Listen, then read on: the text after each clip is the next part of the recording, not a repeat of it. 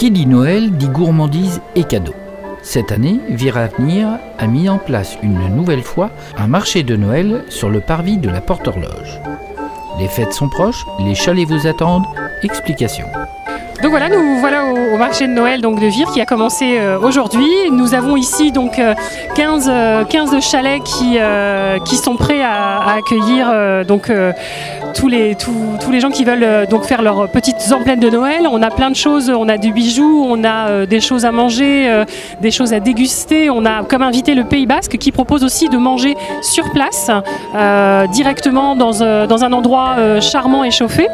et puis on a de quoi aussi se faire plaisir en sucreries, en cadeaux, en bijoux, euh, voilà, plein de bonnes choses. On a également un petit peu d'animation aussi pour les enfants. On a des maquillages gratuits donc sur le stand de, de Viravenir. Il y a des chèques cadeaux forcément à vendre. Euh, et puis dans la porte horloge, on a installé aussi la maison du Père Noël et euh, on a quelques ateliers créatifs pour, faire plaisir aux petits et aux grands. Donc on a eu l'occasion aujourd'hui d'avoir un orgue de barbarie, quelqu'un aussi qui fait un peu d'accordéon, on l'entend d'ailleurs.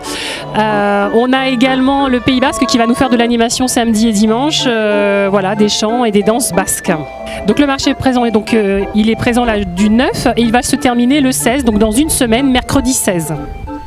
Le marché de Noël a été inauguré officiellement par la municipalité et le bureau de Vire ce mercredi en présence d'Elodie, Miss Pays Virois 2016.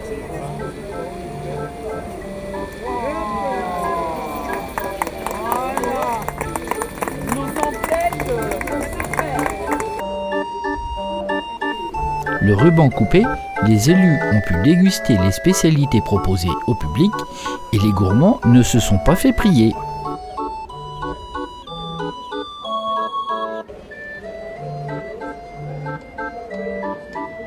est-ce que vous avez goûté? Oui. Et puis c'était bon? Oui. Alors tu as goûté quoi?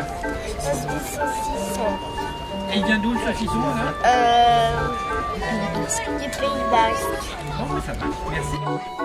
Commerce traditionnel ou marché de Noël, vous pourrez préparer toutes vos fêtes à Vire.